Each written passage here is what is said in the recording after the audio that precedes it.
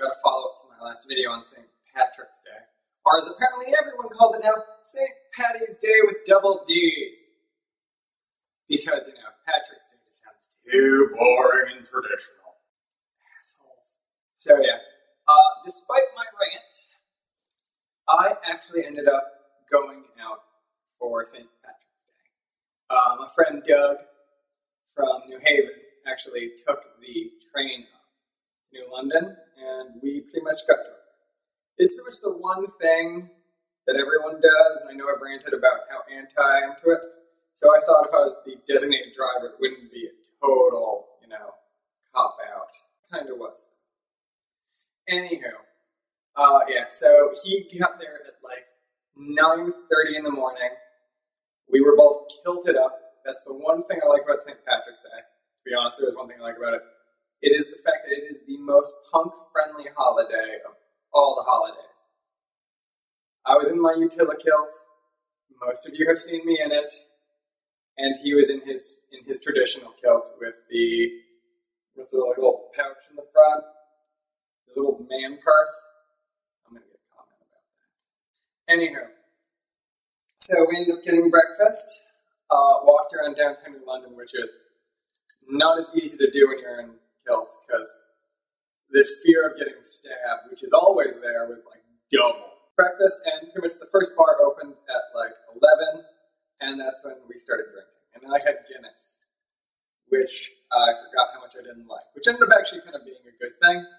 Then I wasn't really drinking a lot, but I had like two Guinnesses throughout the whole day and like two things of flavored vodka that I'd never tried before but always wanted to. It was just drinking and waiting for the parade, which was supposed to be at 1 and it was such such a little little sad pathetic parade. Every float, and by that I mean there was a pickup truck with people in costumes, some sort of themed costumes, throwing candy out off of it.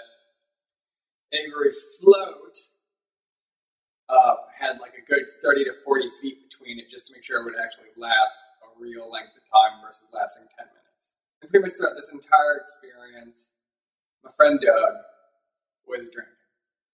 And afterwards, we actually marked off uh, exactly how much he drank, and ended up being about nine Guinnesses. And this is all from 11 to, I'd say about four, so five hours.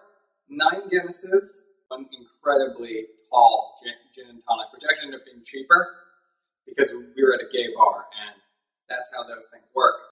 Uh, and also, every time he thought he was drinking too much or he started to feel it, he did what most people do they turned to food. He had two fully loaded uh, bratwursts, and that had, oh, what was it? It was uh, onions, green peppers, some other shit on it, like topped on top of that in a bun, and it had fries on the side, coleslaw, and this is important why I mention this, especially to me anyway, the onion slices, because uh, those came back. He finished drinking his last Guinness, had like one thing of green water that he asked our pretty bartender. But so he's done. We get in my car. We get on the highway, and about 30 seconds onto the fact that there's no more shoulder and I'm in the left lane doing 60, he said, he suddenly arches his back and goes, Oh God, um, I'll, I'm not feeling so good. And he just rolls down his window, and I would like to recreate what happened next.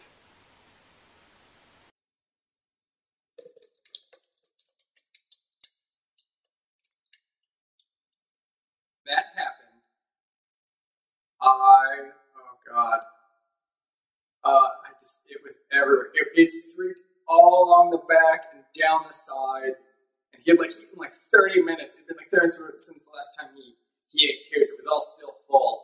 Uh, it's like four days later. I'm still finding shit like pieces in in between the door and the window. And I felt it hit my face. And there's that moment when it hits your face and you're just like, okay. You know, like uh, I'm actually jumping past the freak out to just straight all out. Let's just smile and nod, and I can I can drink away this problem later, which I'm still trying, and it won't work. Um, but yeah, so he he seemed instantly better, which most people do when they drink, and we then uh, he said he'd make it up to me.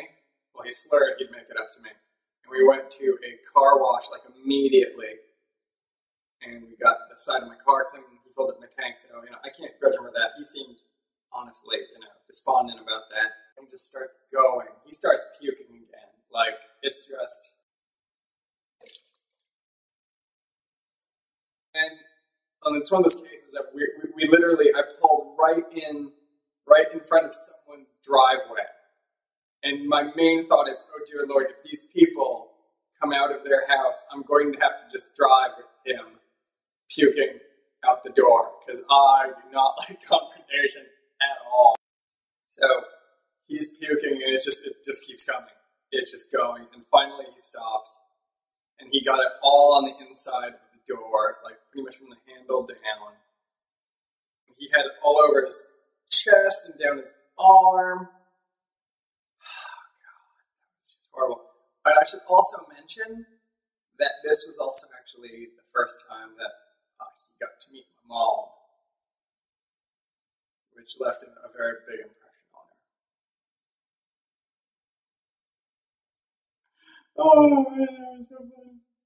Oh, other people's misery is something